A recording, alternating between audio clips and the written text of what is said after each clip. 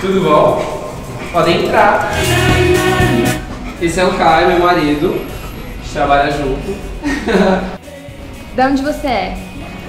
Eu sou de Maceió. Na real, eu nasci bem no interior de Alagoas, assim, quase Agreste. Como é sobreviver aqui, vindo de outro estado, tão longe? Cara, no começo é muito estranha a adaptação, porque as, as coisas aqui funcionam de uma maneira bem diferente, né? E nos, nos dois últimos anos, que foi quando eu mudei para Santa Cecília, redescobri São Paulo, sabe? Eu acho que aqui é onde eu me encaixo.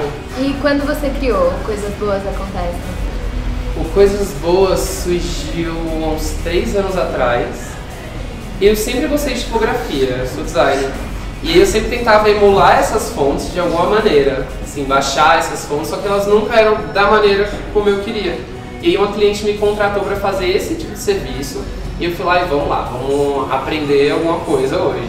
E desde então eu não parei, assim, todo dia eu pratico, porque caligrafia é isso. É, as mensagens que eu publico, elas são é, mensagens motivacionais, mas são coisas que eu digo pra mim mesmo todos os dias, sabe? Coisas que eu enfrento conhecendo a cidade e me conhecendo.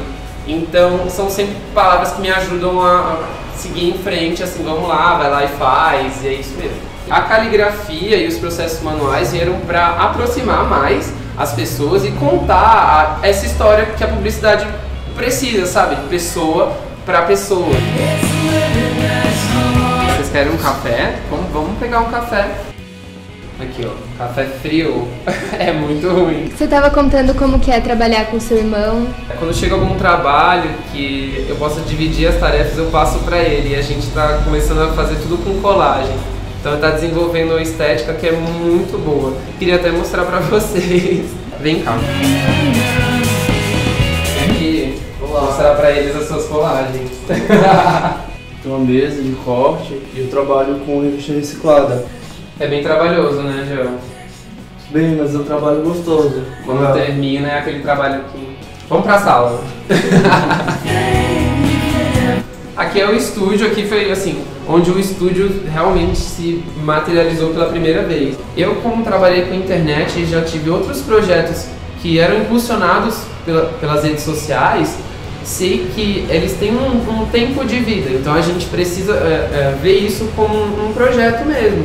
Então o futuro do Coisas Boas Acontecem hoje é ensinar para as pessoas da mesma maneira que eu aprendi como fazer processos manuais, entrar agora no YouTube para transformar esse, esse conteúdo em vídeo e também lançar um, um site. Então acho que o, o caminho é ensinar para as pessoas que elas são capazes, como eu, de cara, botar a mão na massa e aprender os processos, sabe? Yeah.